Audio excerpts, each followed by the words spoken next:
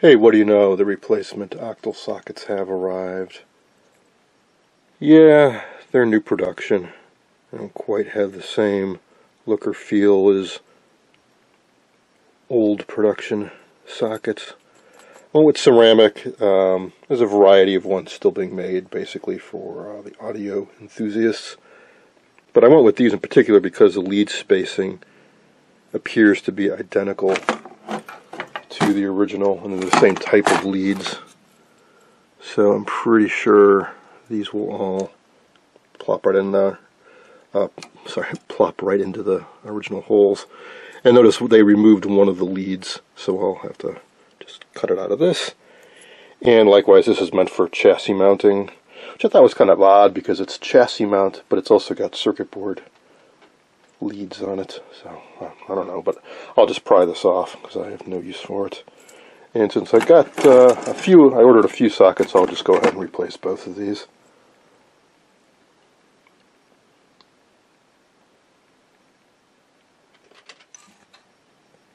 It was very easy to get the old socket out. I used my small diagonal nippers and went into each tube socket pin and crushed it. I'll uh, demonstrate on this other one, but what I wanted to show you now was that it's so close to just plopping right in, but the lead spacing is slightly larger on the board. In other words, the diameter is a little bit larger, so I'm going to have to bend the pins out just a little bit. But otherwise, it was a perfect fit. And to get that one pin out, that was super easy. All I had to do was squeeze it, and it just went right out through the other side. In other words, they put the pins in through the top and then twist them down below to hold them in place. So I just had to straighten it out, and it slid right out through that slot. So I'm going to take each pin and bend it to the out uh, outside like that way and then bend it straight back up a little bit. I just need like another millimeter or two on each pin.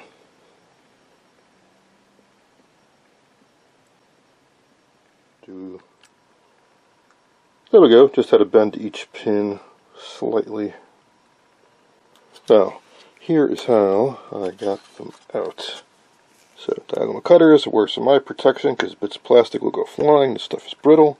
Just go down into each socket pin and snip.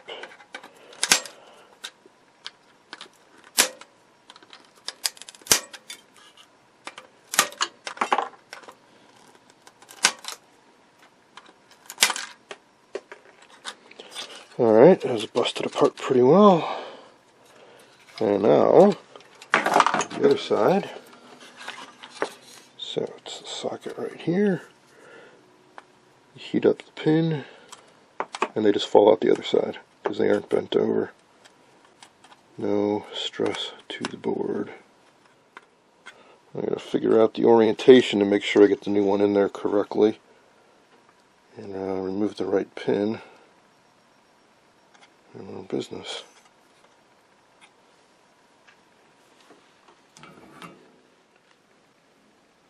I went down to my storage space and came back with a box full of bits and pieces I'd scavenged out of a similar uh, chassis. I think it was a 10L43, but I noticed some subtle differences uh, aside from it looking filthy. Uh, for example, the transformer, this one is flat on top, and this one is a bump out, but the part number is the same. Well, go figure. Um, so for example, this has a cracked core. I think I could scavenge that one. Also, I did manage to salvage the linearity control out of it. This one's not in the greatest shape. The wires are kind of coming undone on one end, but if it's got continuity, it should serve for now at least. I also have another Debutante set I did a video a while ago on Predicta salvage, and I had one that's just a mess. It's missing a lot of bits and pieces. On that one, when I looked at the chassis, somebody had already replaced the linearity control with a gigantic rheostat, like an inch and a half, two inches in diameter. So that's, I don't think that's worth messing with. So here is that control. And I think the schematic is an error because they show it having a 180 ohm stop, which to me should mean that you can't get below 180 ohms resistance. But the way they show this wired, yeah, if you rotate the control all the way to one extreme, you'd be putting that you directly to ground. So either you don't need the 180 ohm stop or the schematic is drawn wrong.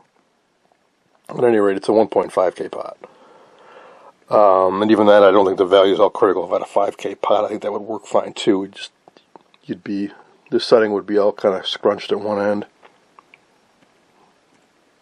Um, not sure the exact wattage. I can look that up. So it's a wire wound control, which means there must be a fair amount of current. So that goes directly to the cathode on the vertical output triode of the 6DR7. Oh, uh, the part list doesn't specify it. I don't know. I don't know how to guesstimate the wattage on these. 2 watt, 3 watt, 5 watt, something like that.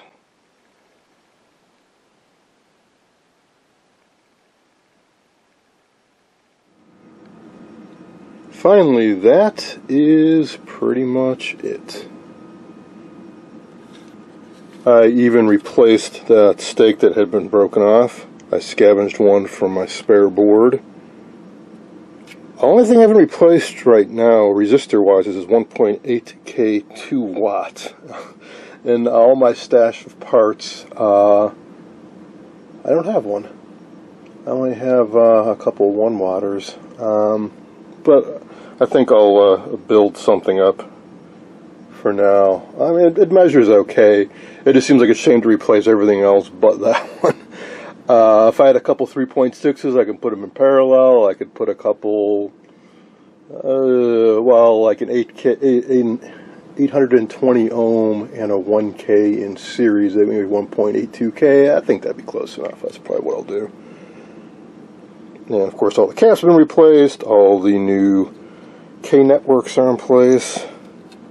I'm not happy with this. some of these ceramic caps are grungy looking. They have some kind of waxy coating on them, and I've tried lacquer thinner, denatured alcohol, uh, simple green. Nothing seems to really get it off other than heat and melting it off. Uh, but I don't want to mess with it anymore, really. And I did not replace all of the tube sockets. The the two that seemed well, aside from the two octals, I replaced this guy and this because they seemed to be a bit stressed. Oh, and, and sorry, and this one. But the other three look to be uh, in pretty decent shape. Um, so I'm thinking I'll leave them alone, especially this one because it's got the nice telescoping shield. I don't have any replacements that are quite like that. Oh, one I scavenged a dual selenium out of uh, that spare board. It doesn't work out well if the horizontal hold doesn't lock very well. I'll put a uh, modern Schottky diode replacement in there, but I'm curious to see how that goes. Alright, so basically that board is done. So what else is left? Um, one, I wanted to answer a few of your, or address a few of your comments.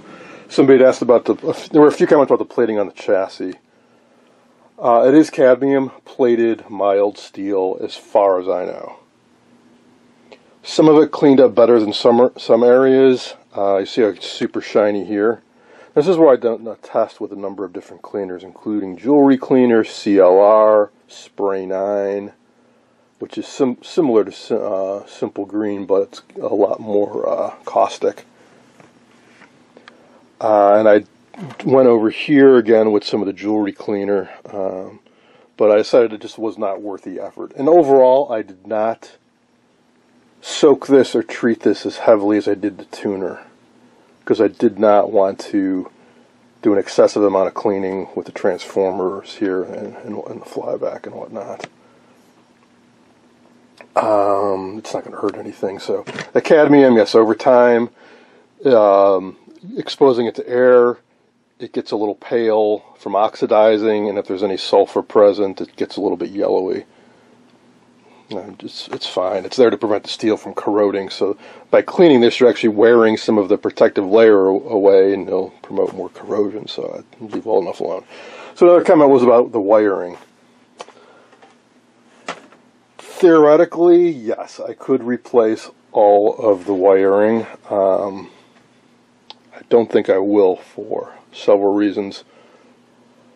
One, uh, it'll take a long time. Two, uh, wire is not cheap.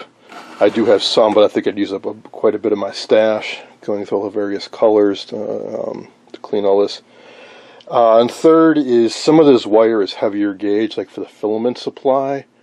And I think all of the wire I've got, let's see, it's all 22 gauge. Basically, I've got a few spools of this. I got an assortment of 50 foot spools I've been using over the years. There's probably 20 or 30 feet left on each spool. If I rewired this whole thing, I would really drain my supply. And I'd rather not. Most of it's in fine condition. Yeah, it's a little, the colors have faded, but the wire is, is perfectly fine. Um, something else about, uh, speaking of wiring, so when, when it comes time to put this board back in, I need to reconnect all those wires. Originally they used some type of wire wrapping tool or machine, I'm sure. This is fairly heavy gauge wire. It's at least 22, possibly even 20. Uh, and it went, excuse me, it went over these stakes. When I put these back on, I do not wrap the wires back on. That's um, very tedious. The wires tend to break because they're kind of brittle. I do not have the tool for this gauge, and again, I'd have to straighten out the wire, put it in the tool, and they would twist around again, and they would just snap off. So what I do is I solder them on. But a tip about that is these do not take solder too well. I think these are tin plated, and over the years they've oxidized, and it's a little bit of work to get them to tin. Now these are tin because these were bent over and soldered to the stake on the board. But these are not. So take some fine sandpaper like 400 grit, 600 grit, emery paper, that type of thing, and sand them down. And then when I go to put the wire on, especially when I first want to power this up to make sure it works, I am just going to take the tip of the wire, I'll clip off the, the spiral bit, I'll take a little tip of it, I'll tin it, and I'll just tack them on. Once uh, I know that this is working, I'll do them more securely, just on the chance I have to take the board out again. I don't see any point in really spending a lot of time securing all those wires if I just got to pop the board out. Now, this is not my first time doing this. On at least one occasion, I had to take the board back out. I think two occasions. One, as memory serves, is because I hadn't replaced the tube sockets and there were some fractures in one of them. Uh, and the other occasion is I had made my own replica couplates and I'd made a mistake in one of them. And I had to rewire it a bit. Oh, and I think it was th another occasion. It might have been that same board. I had uh, a cold solder joint, or uh, an unsoldered joint. So I uh, now I do one component at a time. I clip out the old component, put the new one in, solder it in place. But there was a time when I would do a bunch at a time, and when I flipped it over, I missed soldering one of the wires on, one of the component leads. So I take the board back out to redo that one. I did not do that on this board. I'm pretty sure everything's soldered, so won't have uh, that happen again. And as far as these new sockets go, I'm not crazy about them. Uh, because the tubes are a little hard to get in and out, you've got to put some force on that. And it kind of stresses the board. Now I don't anticipate having to take tubes in and out a whole lot. But uh, when I come to get it out, yeah, there we go.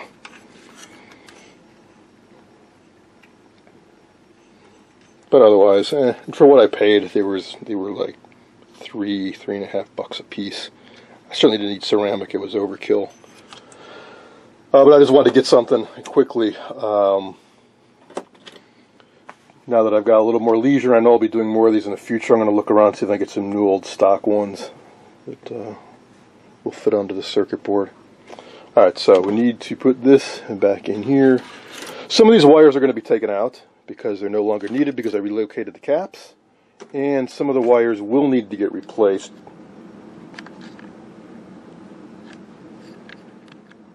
Especially these wires. Originally there was a big filter cap here and these are the clipped off lugs. So we've got a wire that goes over to here, and then I use it as a tie point, and then ran a wire on.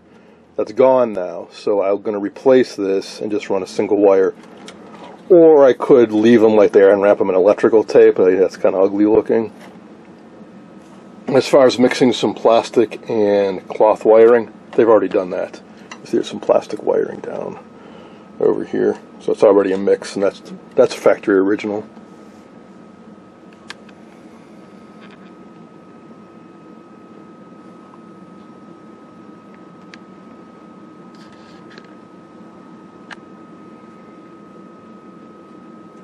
And then there's this board, which I will take out and clean up. Uh, there's only three wires going, or four wires going to it. It's power, AGC, that's the uh, video and audio out, and then the coax for tuner in. And there's a few stakes and this lifts right out, and then I'll clean up underneath there. Uh, flyback is in pretty good shape. I reflowed some of the wax around it. There are some gaps where some has flaked off, especially on the bottom. I do not have any Corona dope right now, so I'm just going to leave it alone. Eventually, when I do get some, I will pull this out again and uh, and recoat it more thoroughly. And I won't have to replace down here and then there's the big challenge. This is the big challenge. I've got it on facing backwards right now, but this is a CRT housing, obviously. I need to break this down. I've already taken the front cover off so I could clean it. I need to take the back cover off because the wiring on this is absolutely miserable especially the yoke wiring. It's got to be replaced. In order to get at it, um, really, I want to take this back cover off because I want to clean it anyways. Yeah, I, I could probably get it all off through the small opening on the back, but I just assume take this all apart and I can clean off the arms and, and such. I cleaned this off a bit when I first got it. This is the color it's supposed to be. This is the color it is after cleaning. It's a little bit lighter here where I've gone over it more. So I want to take disassemble this, give this a simple green bath. Same with the control arms. And I can see that the CRT too is pretty grungy. I cleaned off the glass surface, but like up here, it's still got a nice layer. So I want to break this sucker completely down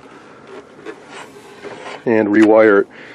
These arms are steel that's some sort of brass plating. They're almost always in miserable condition. I think it was a really thin plating. Sometimes I even think, oh wow, is that just filth? I thought that was all corrosion on there. Wow, now I'm really curious. Could this be shiny metal underneath a really thick layer of disgustingness? Well, that'll be an interesting experiment. I know this plating, though, is extremely thin to the point where you kind of can't even polish it. You use something like Brasso, anything that's a little bit abrasive, and you're going to go right through it. Same on this. In fact, you can see this is already, I went through this when I was cleaning it. It's like a microscopic layer of coat of color. Which sometimes makes me think that some of this is not brass plating, it's tinted lacquer which is what I'm considering to do to uh, replace it. But for now, and then I'm kind of on the fence about what to do with this set. Yes, I could completely strip it down and repaint everything.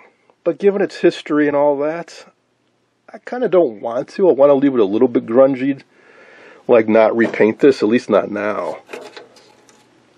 I wanted to show some battle scars. It's the, I'm going to leave the burned the, CR, the CRT with the burned in line on it. I'm not trying for perfection. And, and, notice this. I don't know if that's a molding flaw or what, but there's a kind of a weird bump out in the plastic here. Yeah, it could be sanded down, and then it'd probably be a different color, and I'd have to repaint or paint the whole thing to blend in and all that. You know, it's like I've already got. If you want a pristine example, I've got this one over here. No, it's not a Siesta, but in other words, there are pristine examples of this set around for a collector who wants one that's in really, really good shape. I mean, look at the plating on that. This is one of the best I've seen, but even on this, the arms have that characteristic kind of pitting on them.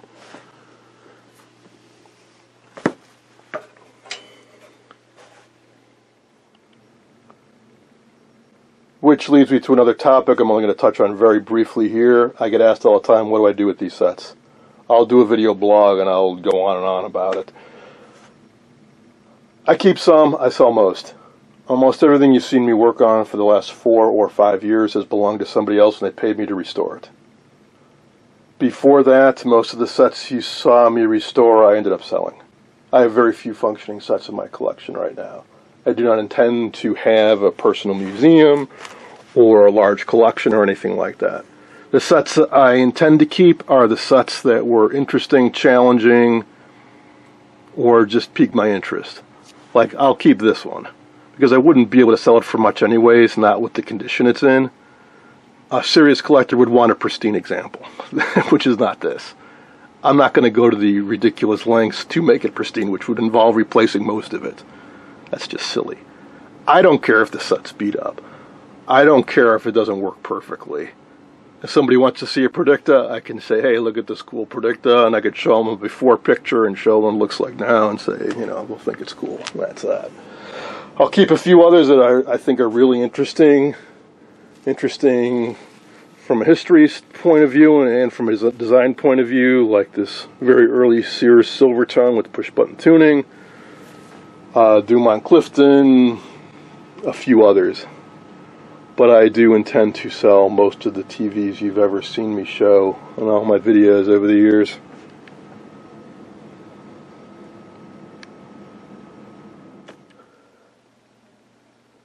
Alright, so how does one go about dismantling a Predicta CRT head? Well, I've shown this in previous videos. Uh, originally there was a plastic cover on the front and a metal band around the the perimeter hooks up to a spring down here. I find it extremely difficult to unhook the springs down here, so I pry my fingers underneath the band and pry it off the front. So that's how the front cover came off. To get the arms off, there's a bolt on either end. Let's see if I can find the right size sockets.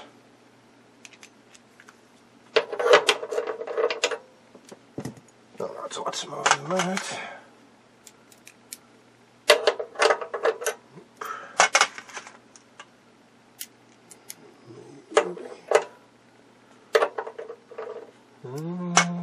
Closer.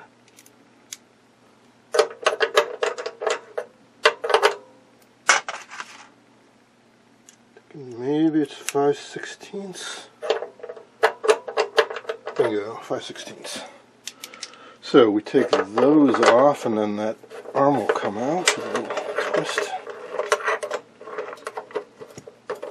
So there's that. There's a screw in there. And then you give the arm a little bit of a turn and it comes out. It has some pins on the end. Just a closer look at the condition of it. I guess these are just press fit on. I had not realized that until I saw another set recently where this was coming apart. Well, originally, yeah, it would have been gleaming like that. I've seen some guys get these replated, and they look amazing. But it's not easy to find metal replaters, especially not ones you can send metal to them in this condition, because they're going to have to clean that up. So, well, I'll do what I can. Let's get the other one.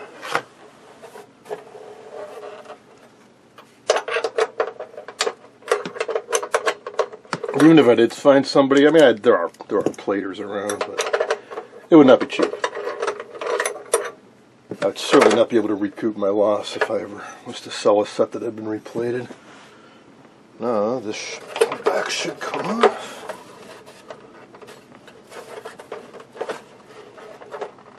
Oh wait, no, no, no. I think there are two little screws in front. Yes.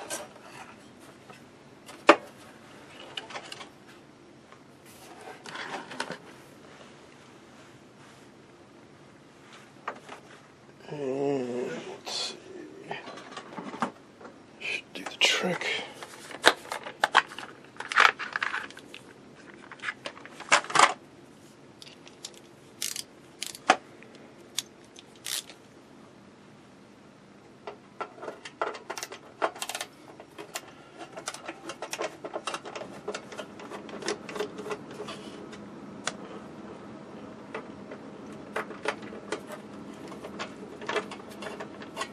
Especially curious because the CRT has been replaced.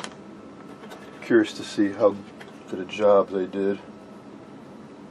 From what I can see, they did a pretty good job. I mean, it, it's seated in there properly. There aren't any screws missing or anything. I didn't hack anything up that I can see. That's it. That's one of the reasons I want to get it out is so I can clean it thoroughly, thoroughly. Now you can see the business end of all this stuff.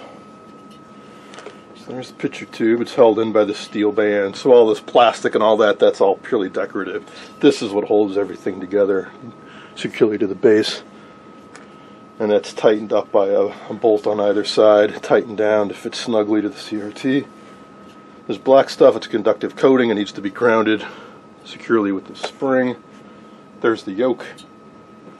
There's the high voltage connector. Yeah, they didn't use a cup or anything. It's just clipped in there. There's some paper down here, I guess, to uh, prevent chafing. So I want to replace all this crap. High voltage wire. No, that's right. It's crusty too. Or well, hmm, yeah. there, I just I just destroyed the insulation by bending the wire, so it's got to go. That's going to be a bit of a challenge. I think the CRT wiring I can reuse. This seems to be in pretty okay con condition other than being a bit dirty. And the cloth, the yoke wiring, maybe. But again, this plastic stuff, it's just trashed. I'm not sure what to use though. Um, the plastic PVC wiring I've got, well, hmm. The plastic PVC wiring I've got is solid core. This all should really be stranded because of the flexing it gets when you move the CRT head.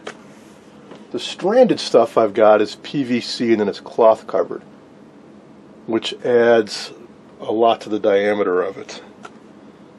Probably not enough to be an issue just on these two wires here. But I could also take off the cloth. But the other issue is what is the voltage rating on this wire? The two horizontal yoke wires are different than the others. They must have done that for a reason. I'm guessing it's because it has uh, more voltage on it. Well, the stuff I've got, it's rated for 600, the plastic, and then they add cloth over it, which should add a little more insulation. Is that enough? I don't know. Um, otherwise, I got to order some, which means waiting. Uh, but I will uh, just hop online a little bit and see if I can get some. There's, there's always there's always stuff I need to buy anyway, so I don't mind beefing up the order with some other things I'm, uh, I need. And get some wire that's rated for oh I don't know like 2,000 volts. Up here at the yoke, it's really flexible. It's in really nice condition. Down here, it's trashed. I'm guessing it must have been the heat. Uh, that wire is just toast. I do have high voltage wire though, so that's not an issue. Potentially I could use a high voltage wire I've got for the yoke winding, but again, it's really thick stuff. And I do salvage wire out of things I've scrapped out. So possibly, I'll, I'll look through my stash and see what I can dig up.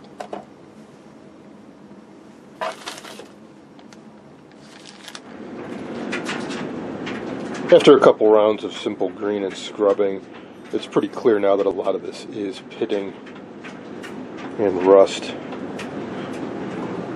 I could use metal polish, but again, that's going to strip off what's left of any type of brass colored plating.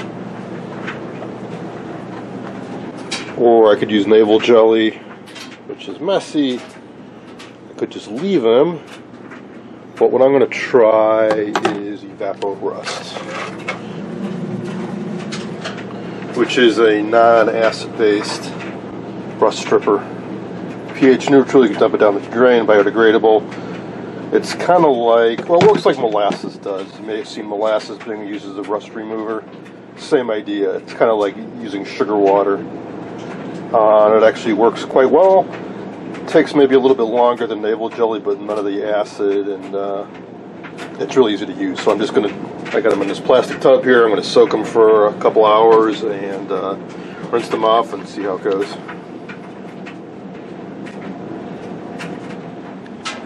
While I let the arms soak, I gave the CRT housing a healthy spray of Simple Green. I'll let it sit for a while and then go over with a scrub brush.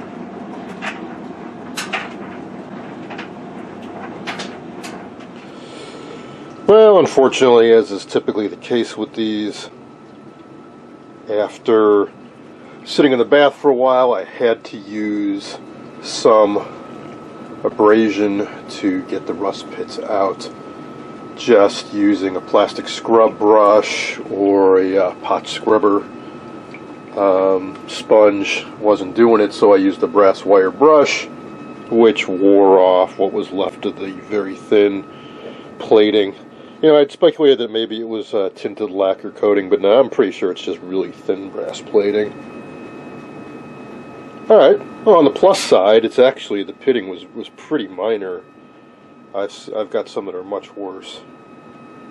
So all in all, it's a pretty nice shape, and I could leave it like this. It would start to corrode because it's just mild steel. I could clear coat it with lacquer. It'd look okay. Or as I said, I could get it commercially plated. I got a bunch of these sets to do. Um, so uh, rather than spending, I imagine would be hundreds of dollars, I'd like to do it myself. Now I've done a little Caswell plating kit, which is like a brush you hook up to a 6 volt power supply and it comes with some brass plating solution and you chemically do it. I've read up on how to do it on a larger scale with um, like fish tanks and chemicals and I don't want to go through all that. I'm going to go and buy all that equipment and chemicals and spend all that time cleaning up the metal. I might as well just have a commercial place do it. There's a third option, which I'm sure some of you know about, which is to do with heat and friction and brass brush, like this.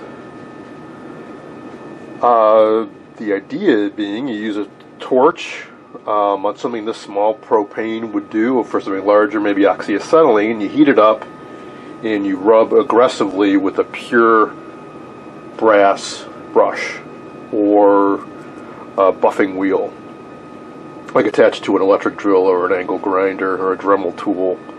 And it will actually transfer, melt a thin layer of brass onto the steel. There's plenty of YouTube videos showing it.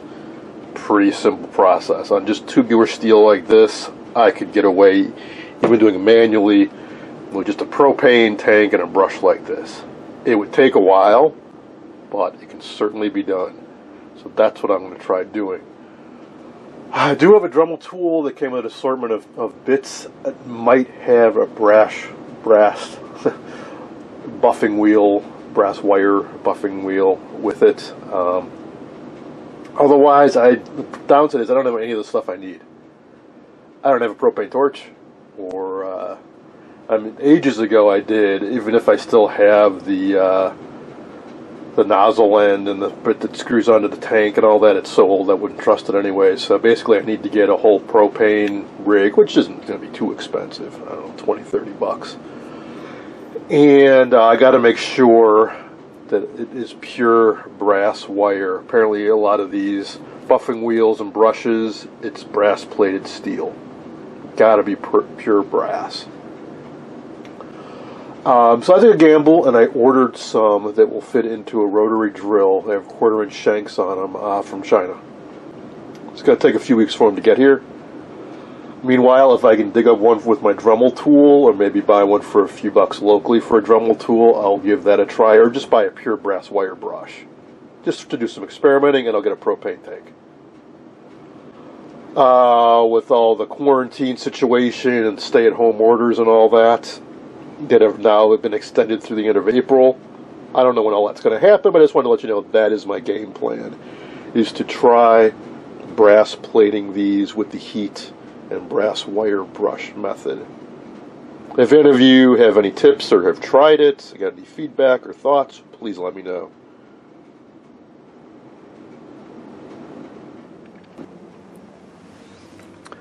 I looked through all my salvage and scavenged bits of wires from over the years. I found some high voltage wire anode caps, but no voltage, or sorry, no wire rated for a few thousand volts. But what I also found was I forgot I had some spare Predicta bits and pieces. So I've got a couple spare CRT sockets, wiring harnesses, plugs. If these are in any better connection or condition than the ones I'm using, I could use them. Although these might be for 21 inch sets. And then there's this, which is a whole yoke assembly with plug and everything. Um, unfortunately, this is also for a 21 inch set. You can see they're a little bit different.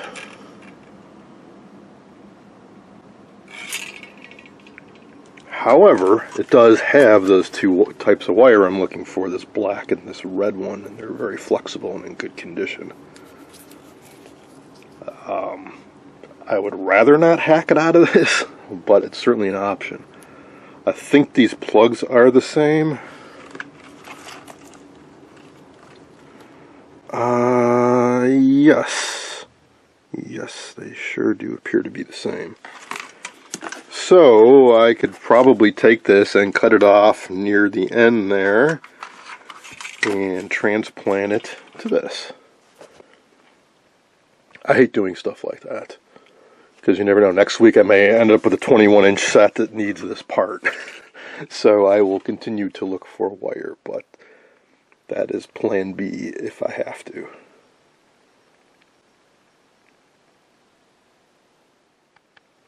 I'm going to end this installment with a few odds and ends. I did cobble together a 1.8k resistor. I also sprayed, sprayed some fader lube into these two potentiometers and verified that they both work. So I think this board is ready to go. Again, I'll leave off on this board until I test the functionality again. I dug up some 47 type light bulbs. So I'll install one in the tuner so we can get that lighting up again as it should. Maybe do a little rust removal on that. Be nice to see that channel selector illuminated. Uh, I'm still looking for some wire. And um, I think it's time to install this board and start wiring it back up and cleaning up and replacing the, the chewed up wires as needed.